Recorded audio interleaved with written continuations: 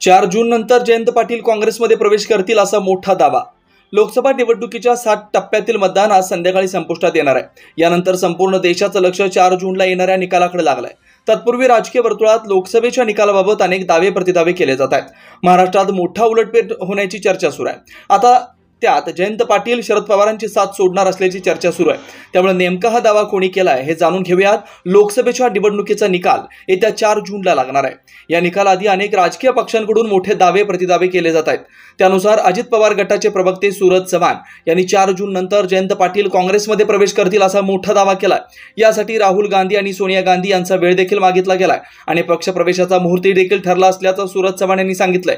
इतकंच नाही तर शरद पवारांचा राष्ट्रवादी गट ही रिकामा होईल. आणि अनेक नेते अजित पवारांच्या नेतृत्वात प्रवेश करतील असा दावा करून सूरज चव्हाण यांनी खळबळ उडवून दिली आहे. सूरज चव्हाणांच्या या दाव्यावर बोलताना भाजप नेते प्रवीण दरेकर म्हणाले की जयंत पाटील याआधीच भारतीय जनता पार्टी आणि काँग्रेसमध्ये जातील असं चित्र होतं. यामागचं कारण म्हणजे शरद पवारांच्या राष्ट्रवादीचं भविष्य त्यांना माहिती होतं असं दरेकर म्हणाले.